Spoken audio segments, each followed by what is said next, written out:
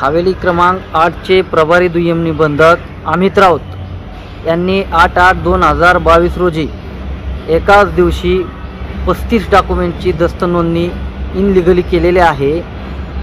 आणि सकाळी दहा ते संध्याकाळी साडेचार वाजेपर्यंत शासकीय नेट सुरू होतं. त्यानंतर शासकीय नेट बंद पडलं. त्याच्यानंतर साडेचार ते नऊ ह्या वेळेमध्ये प्रायव्हेट नेट वापरून त्यांनी संध्याकाळी नऊ वाजेपर्यंत दस्त नोंदणी केलेली आहे. त्यामुळे आम्ही त्यांच्या विरोधात I G R Shravan Hardikar D I G Govind Karat जे डी आर अनिल पारके यांच्याकडे मी लेखी तक्रार केली. त्याचबरोबर हवेली क्रमांक सतराचा त्यांच्याकडे गेल्या वर्षी चार्ज होता. त्यावेळेस त्यांनी तब्बल बोगस गुंटेवारी लावून एक हजार दस्त एक हजार दस्तांची दस्त नोंदणी केलेली आहे. त्याच्यामध्ये रेड झोनचे मी बारा पुरावे तक्रारीबरोबर दिलेले आहेत. त्याच्यामध्ये एक दस्त असा आहे की विकसन करारनाम्यावरून शंभर रुपयेवरून खरेदी खत केलेला आहे. त्याच्यामध्ये शासनाची तब्बल एकाच दस्तामध्ये सव्वा कोट रुपये महसूल बुडालेला आहे. हे एवढं मोठं प्रकरण असतानासुद्धा गांभीर्याने आयजार साहेब यांनी घेतलेलं नाही. कारण मी सातत्याने पाठपुरावा केला एक महिना झाला तरीसुद्धा यांनी ह्या प्रकरणाकडे लक्ष कुठल्याही पद्धतीचं दिलं नाही.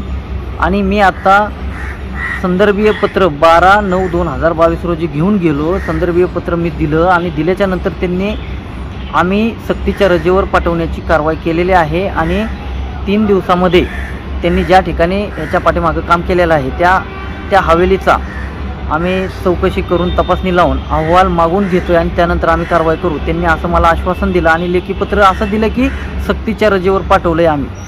अशी कारवाई आम्ही केली असं मला त्यांनी पत्र दिलं. पण माझी मागणी एकच होती. त्यांनी एवढं मोठं प्रकरण केलं आहे एवढ्या मोठ्या चुका केलेल्या आहेत.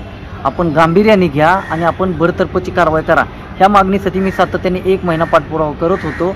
परंतु IGR Shravan Hardikar D I G Govind Karad हे त्यांना पाठीशी घालत आहेत असं मला आता या ठिकाणी कळालेलं आहे. त्यामुळे मी वरिष्ठ अधिकारी आणि संबंधित अधिकाऱ्याच्या विरोधात हायकोर्टामध्ये येत्या चार दिवसामध्ये मी जनहिता याचिका दाखल करणार आहे आणि मी माझा न्यायदेवतावरती विश्वास आहे. मी हायकोर्टाकडे आता न्याय आणि दाद मागणार आहे. बहिणाबाईंची जात्यावरची ओवी म्हणजे?